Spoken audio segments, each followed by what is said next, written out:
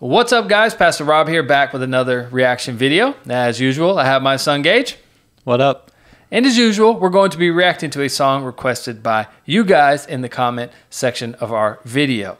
Now, keep in mind, this is not an endorsement of the song, the artist, or the genre as a whole, but an attempt to create discussion and encourage discernment while listening to music.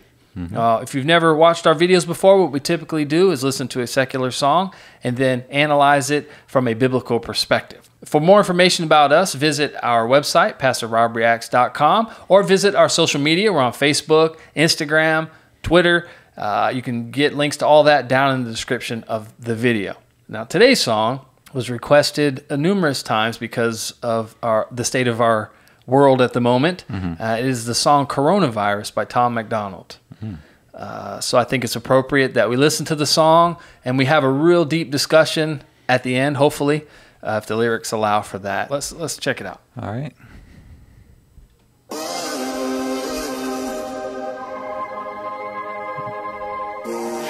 I'm already tired of seeing those masks. I know, right? I'm tired of wearing them. Mm -hmm. I don't know what to think about this virus. Started in China, now everybody in America's hiding. There's no groceries because people start to panic and buy it. The shelves are empty, the ones with plenty already stockpiling. Y'all making memes. Think it's funny? Wait a week till the riots. Wait a month till the only way to eat is be violent. Ooh. It's not the sickness that's scary, it's all the people who whiling. The government lying, they trying to keep us calm through the sirens. You know it's for real. And all the pharmaceutical giants don't have a cure that they can sell you, so now everyone's dying. There's no vaccines or medication made can fight it. I guess it's time to pray to God we can't rely on the science. And everyone around me in a mask and some gloves. The stock market crashed and the bank's about to bust. Tell us sanitize our hands, this will pass. It's a bug, stay inside, you'll be fine Till we're trapped there for months.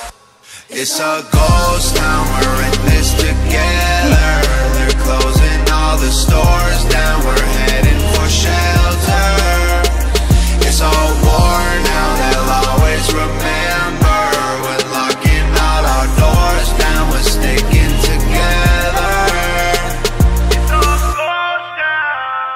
This a pandemic but we don't listen to the news cause they lied to us for years So how we know that this the truth? Yep. And most of us are young enough to think that we're immune So we just pass it on to people who won't survive it like you. It's either worse than they're telling us or it's nothing at all. But the school shut down, a ghost town in the mall. They gon' quarantine the city, block the road out of Dodge Then tell us leaving our homes is actually breaking the law. This is just the beginning, you know it's gotta get worse. If the doctors get sick, the hospitals won't work. The conspiracy theories all sound like facts, that's for sure. But the fact is we're trapped on this planet called Earth And the bleach gone, the bread gone, the water sold out, the meat gone, the milk gone, wow. the pasta sold out. Don't leave anything for anyone, you hoard it for yourself. You'd mm. rather tell them go to hell than be a man and go in hell. mm. It's a ghost town, we're in this together. They're closing all the stores down, we're heading for shelter. It's all war now, they'll always remember.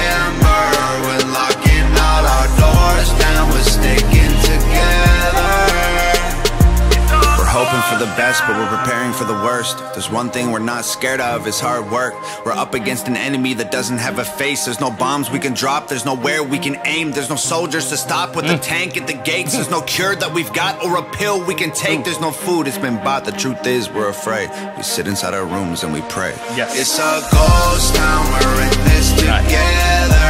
They're closing all the stores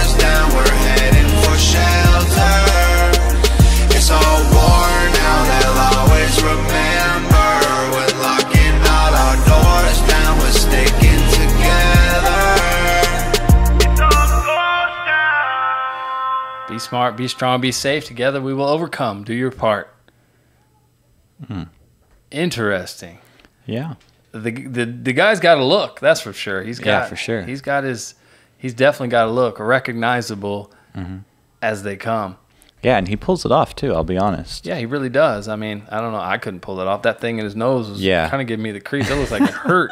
yeah, I mean, the music video was great. Yeah, fantastic. All the shots. Yeah, yeah, that was really good. And it's interesting because it's a little bit old, not older, like long time ago, but it's a couple weeks old. So oh, yeah, yeah, definitely some. Um, foresight on his part in yeah. some of those areas. Yeah, I, I don't true. think when he released a song, at least here in our state, that we realized the gravity of the situation. Yeah.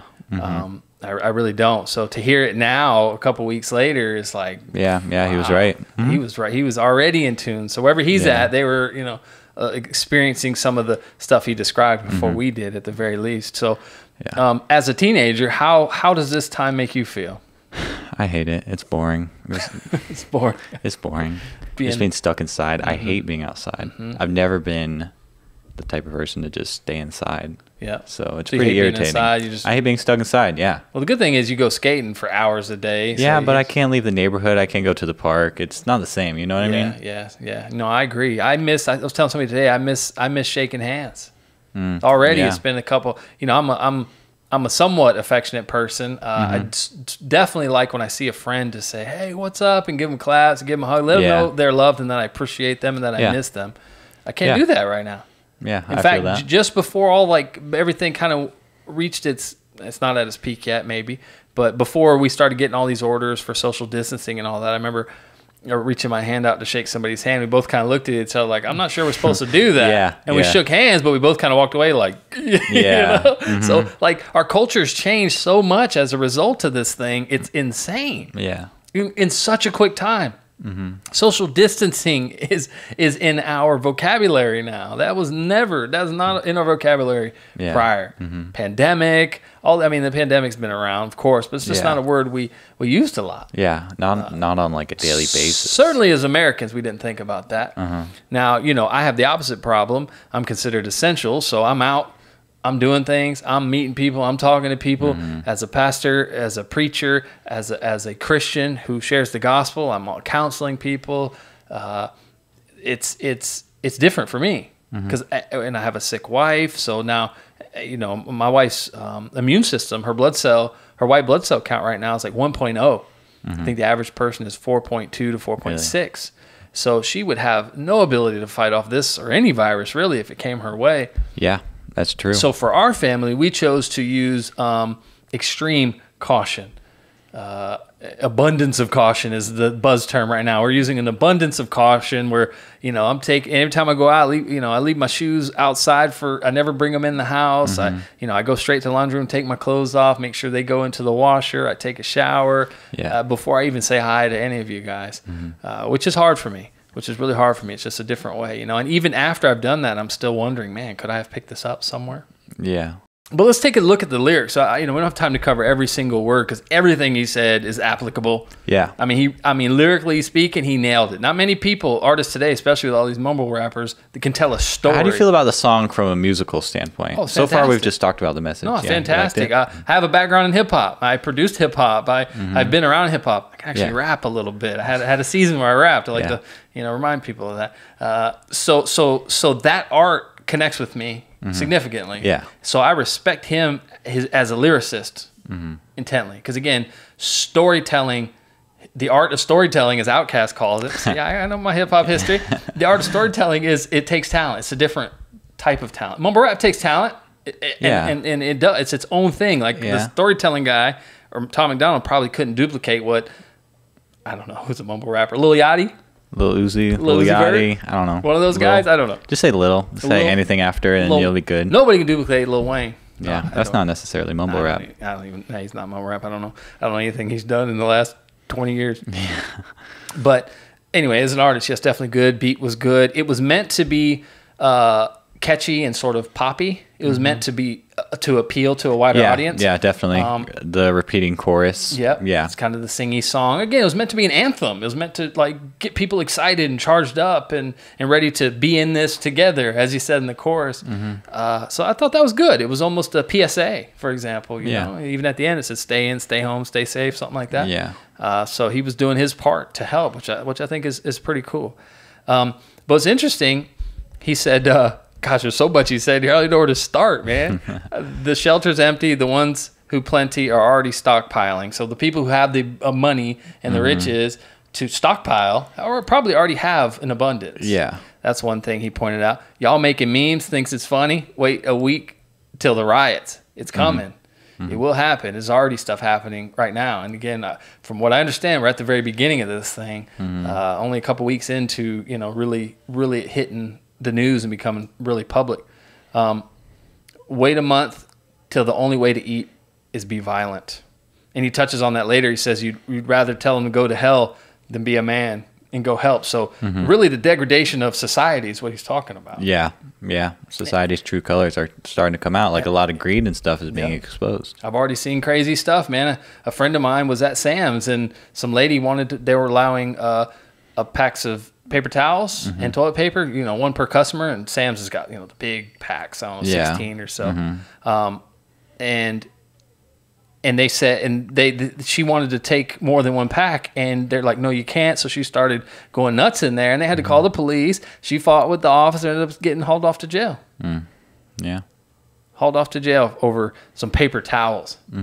So this goes back to something we've discussed on on some of our other videos, and it's it's sort of uh, what the Bible talks about man being fallen, that their that their natures are corrupt and prone towards sin.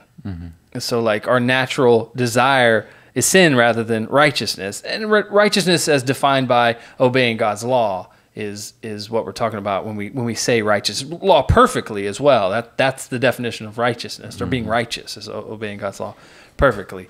Um, and so for me, like America's always had this sort of thin veneer of decency. We've always been sort of a Christian-like uh, country. Christian like exactly Christian like country. So we've we've had Christian morality. Um, immorality's always had a high value in our in our country. Yeah. Um, you hear it in, from the pulpits. It's always you know from preachers always about behavior rather than the gospel of grace mm-hmm. uh, because they want people to look a certain way and act a certain Yeah. way. You know, take your hat off when you walk in a building. You mm-hmm. know, do all this stuff. Uh, and that veneer is getting thinner and thinner Yeah. that as it has been for a long time anyways but when these kind of events happen the the veil comes off so to speak and now we see the worst in people. Mm-hmm. Yeah. and you know and there are great people out there too. Do not get me wrong. We got nurses all of our first responders all those people. Big thank you for putting yourself in in in that in on the front lines. You know uh, some people are are doing it for selfish motives, whether it be a paycheck or security or uh, pride to be able to say that they're doing it. Uh, but I'm grateful that they're doing it either way. And some people are doing it for the glory of God because they have a, a Christian worldview and they, they believe that by doing these things, they're honoring God. Uh, so another another line he says, uh, I, I like this. He touches on this a couple times in, in the song. He says, uh, "The government's lying. They're trying to keep us calm through the sirens. We know it's for real." And he also says later in another verse, he says, "This this a pandemic, but we don't listen to the news because they lied to us for years. So how we know that this is truth?" Mm-hmm. Yeah, that's true. And then he says in another place, it's either worse than they're telling us or it's nothing at all. Mm-hmm. The conspiracy theories all sound like facts. That's for sure. He, he's right. Like we're watching news, we're kind of going, hmm, what's real? Like the fake news is the big thing right now, and there's always been fake news. It's not. It's not new. Like fake news has always been around. It's just Yeah. kind of being called out. Sometimes it's used unfairly, and it's really not fake news. I get that. Um, but interestingly, people started this hashtag called "Film Your Hospital." And what they're doing right now is going to these hospitals that they're, so they're they're they're claiming on the news that these hospitals are overrun and and, and just people are spilling out everywhere and they don't have enough beds and there's all this panic. yeah. Um, and that could be true for some. Do not get me wrong. I, I mean, there's some places, uh, some cities had actually uh, reduced the hospitals, uh, shut some hospitals down, and now they don't have enough hospitals to handle something like this. Should it reach a certain height, so maybe they're just getting prepared. But either way, on the news, they're they're saying it like everybody's dying in here and all this stuff's happening. All these people are lined up, mm-hmm. and these people are going to film the hospitals. Mm-hmm. One dude went all over California and I filmed like 12 or 13 of them. Mm-hmm. And he were, walked they, up. were they as bad as? Th- th- he went into the lobbies again. I, you know, I'm I'm treating this with a grain of salt. I Yeah, don't know. yeah, of like I'm not. I'm not saying this is true. I'm just saying what I'm seeing. Mm-hmm. And he would go in the lobbies and film the lobby. And I mean, there is not a soul. Some of the people were telling him and other people in interviews that we're actually not that busy. In fact, we're less busy because people aren't coming out of fear of getting the virus. Yeah, and which is understandable. Sure, and, and some cities have deemed um, all elective surgeries uh, that aren't necessary to have that you, you shouldn't go do those. Yeah, makes So- sense. Makes yeah. perfect sense. So they're losing money on that traffic, Mm-hmm. and they're spending money getting prepared for a potential either getting prepared or or and again the conspiracy theory that because he referenced conspiracy is that they're they're squeezing they're trying to get funding from the government by claiming that they're overwhelmed. Again i'm not i'm not i'm not pushing these conspiracy theories. I'm just i'm just sharing them. Um, i mean there's a bunch of them there people are saying that it's a hoax. People are saying that this is really a way uh, to hide the 5G networks. And that 5G is the radiation is causing the sicknesses. Um, people are saying the, the government's trying to force vaccinations. Uh, people are saying we're actually at war with another country, and they're hiding it under this disguise of uh, of, of, of of an illness. Um, people are believing that we're getting prepared for a Holocaust. Like like they're they're kind of referencing you know Germany and they're showing like the concentration camps and how they prepared and you know they just brought in the Navy ships and they're saying that they're going to load us up on these Navy ships and uh, and there's so many I can't even list them all but Yeah. I'm not ready to buy into any of them yet Yeah, some of those sound a little ridiculous. But you never know, you know. 9/11 was an inside job. We, we never went to the moon. Yeah, we never went to the moon either. I don't know. Maybe we didn't. But uh, if you ever research Yeah, there's always compelling evidence. There's hey, that's a great way to. You said it better than I could have.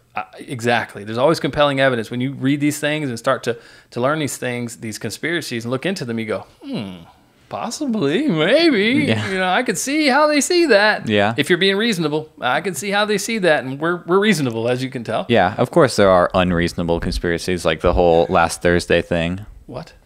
You don't know the last Thursday theory? No. Should I look this up? Um, I don't know. Well, apparently the universe was created last Thursday, and we were all put here with fake memories to fill in the blank between last Thursday and whenever we were born. Just when I thought things couldn't get weirder. well, I tell you though, speaking of conspiracy theories, me, me and your mom watched Doomsday Preppers the other day, and I'm going, I thought these people were crazy, and I'm jealous now. I'm going, man, these guys are smart. Well, wait, what were they preparing for? It's just it's a TV show called Doomsday Preppers, Preppers where these people prepare for uh, the Doomsday for some sort Oh. of. Uh, they were he was talking about a global a global economic collapse, which is happening right now. He said we're prepared for that because what will happen is riots. He talked about just like Tom Yeah. MacDonald talked about riots. So they're prepared for that. They're fortifying their home. They got all this food. They got all this stuff. They got toilet paper. we don't have toilet paper Yeah. for crying out loud. These guys are prepared. So that even those crazy people seem like uh, Yeah. they know what's going on. But only only time will tell the actual truth. Yeah. Only time will tell the truth. Hopefully, we can look back in this video and kind of chuckle at things. Yeah. Uh, we may look back and go, "Man, we did. We were naive at that time." As long as we don't ever get hit by like a birdemic, I think we're good. Birdemic. Hey, that's my boy. That is a RiffTrax reference. Yeah. Link in the description. You got to check that out. Yeah. Birdemic, the best RiffTrax episode ever. Mm-hmm. Um, so okay, a couple more, couple more lines, and then we'll end the video. So he says, uh, uh, now the pharmaceutical giants don't have the cure that they can sell you. So now everyone's dying. There's no vaccines and medication made that can fight it. I guess it's time to pray to God. We can't rely on the science. That's a that's a pretty heavy line. yeah. That's a pretty heavy line. I'm not an anti-science person by any means. Yeah, of course not. Real, re- the real scientific method. I'm not I'm not anti that. I think that's great. Medical science has made some major uh, advancements, but it it it it it um it really does bring to mind that it's times like these that people's false senses of, of security they vanish. People put a lot of trust in man. They really do. Th- They trust their government. They trust uh, uh, food stamps and government handouts to get them through. We're getting twelve hundred dollars for this thing, and like I know, I know a lot of people that twelve hundred dollars ain't going to help them in any form or fashion at all. This ain't. It does not. That's not going to help us. Yeah. And uh, so we trust our government to help us. Um, we invent new schemes to extend our lives by moments. And we invent medicines and we do these things to to extend our, our lives. Or from our perspective, we're extending our lives. When the, the reality is, man is fallible and death is inevitable. God assigns a day. The Bible says it's appointed a man once to die, and then comes judgment. Those are two facts in life. That 100% of people, 10 out of 10, you talk about a scary statistic. That's way scarier than the you know, couple percent right now that's dying from from this uh, pandemic. Is that 100%, 10 out of 10 people will die. Everybody you know, everybody you've loved will die someday and stand before God. Um, and that's the most important thing, which I think we should be getting prepared for. Uh, let's see, where's this? He even, you know, even even towards the end of the song, um, he says, "The truth is, we're afraid. We sit inside our rooms and pray." Mm-hmm. Now, that's a heavy line. Like that's it's true. Like there's a lot of fear right now. Um, Christians are everybody's afraid. I mean, we're there's this. He talks about an invisible enemy in here. We're, we're, we're warring against this invisible enemy, which we always have. We battle not against flesh and blood, principalities, rulers of the air, darkness, all that. We battle against. Uh, there's a spiritual battle going on, and the reality is, I don't know. Even if you don't like it, prayer is effective. God hears the prayers of a righteous person. Um, and I know the first thing everybody's saying is, why does God allow this sort of stuff to happen? God has his reasons. I don't know them. Mm-hmm. I really don't. We know uh, suffering is helpful, it produces endurance in us. But what I do know God does not promise that you will will avoid suffering. I know a lot of people think that that yeah. Well, if he, he the Bible says you know people shouldn't suffer. Well, no, actually, it, yeah, he never promises well being. No, he practically actually quite the opposite. Yes, he guarantees you'll suffer. Suffering is is part of of of life in this fallen world mm-hmm. yeah. where sin exists. See, heaven is a place where that stuff doesn't happen because sin doesn't exist there. Mm-hmm. So there's no suffering there at all actually most people in the Bible experience suffering. Mm-hmm. We know that. Actually, everybody. I can't think of maybe Jesus. Well, Jesus suffered. Jesus yeah. suffered on the cross. Yeah. I don't. I, I don't know. There, if if there is a character that didn't suffer, it, eh, that'd be you know there'd be very few. Mm-hmm. yeah. they'd be in the minority yeah. that didn't suffer in some form or fashion. Mm-hmm. Um, but for us, we have the benefit of hindsight. We look back at these people in this in the Bible and we hear their stories. We go, well, yeah, they, we see a little glimpse, you know, a couple paragraphs of their story, and it looks like it happens really fast. Mm-hmm. Some of the events are really, really long, mm-hmm. really long. Yeah, long, long, long seasons of suffering before before they get their quote unquote breakthrough, before God reveals. Uh, what the reasons were, mm-hmm. and we get to look back and go, man, you know, they made it through. That's pretty easy. We don't have the in our own lives. We don't have that benefit of hindsight. We're in the middle of the story still. And as the story continues, we can eventually look back and go, ah, now I see why. Yeah. Could it be God's judgment? I don't know. Could be. Could it be God purifying uh, a people? Could be. Uh, could it be? Um, could it be Him exposing our idols? It could be all sorts of things. Could it be Him uh, correcting us? I, I don't know. I, I have no idea because those are a lot of the uh, some reasons that you see suffering in the Scripture. Mm-hmm. Um, what the Bible does say about suffering in James, it says, Count it all joy, my brothers, when you meet trials of various kinds. For you know that the testing of your faith produces steadfastness. And let steadfastness have its full effect, that you may be perfect and complete, lacking nothing. So we're called we're called to see suffering as joyful. That's not a it's not a, a feeling of elation like we're not skipping around like SpongeBob mm-hmm. chasing uh, yeah. uh what are those little things he tries uh, to catch jellyfish, jellyfish yeah yeah we're not doing that mm-hmm. you know what he says is count it all joy which means put it in the category of something joyful mm-hmm. you may not feel that way yeah but understand this that because of this it produces something steadfastness and then steadfastness having its full effect makes you perfect and complete ultimately lacking nothing. So so suffering and trials are a blessing because once we get through them, it's improved us in some way or fashion, mm-hmm. by God's standard. Um, and for us Christians, we're called to not be anxious. Uh, Philippians 4, 6 through 7. Do not be anxious about anything, but mm-hmm. in all things, through prayer and petition, with thanksgiving, present your request to God, and the peace of God will guard your heart and your mind in Christ Jesus. Mm-hmm. It's, a, it's a beautiful verse it says, he's telling us, do not be anxious. Instead, pray. That's what Tom MacDonald just said. Pray. And when we present our request to God, it promises that we will receive the peace of God, which transcends all understanding. It's beyond understanding. Mm-hmm. That's the promise of, of God from his, from his word. Um, Jesus says in, in John 14, 27, he says, Peace I leave with you, peace I give to you. Not as the world gives, let not your hearts be troubled, neither let them be afraid. Hmm. So that peace is this that that we know death is inevitable, whether it be from a virus or from old age.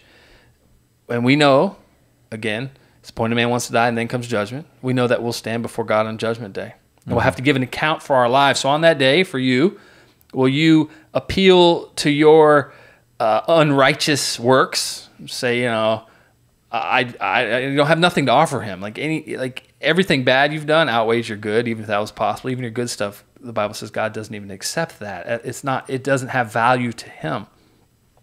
Or are you going to stand before God found in the righteousness of Jesus that he offers to us on the cross? That's what the cross is about. He he died willingly on the cross, paid the penalty for our sin. So he he my sin went on him and then his righteousness becomes ours. It's credited to our account. So so we don't automatically become these uh, perfect people. But ju- judicially speaking, in in the court of God's law, uh, that we we we are perfect on on record. We are righteous. We have the same perfection as as Jesus earned and has. Um, and if you're trusting Christ right now, this is something to give you peace.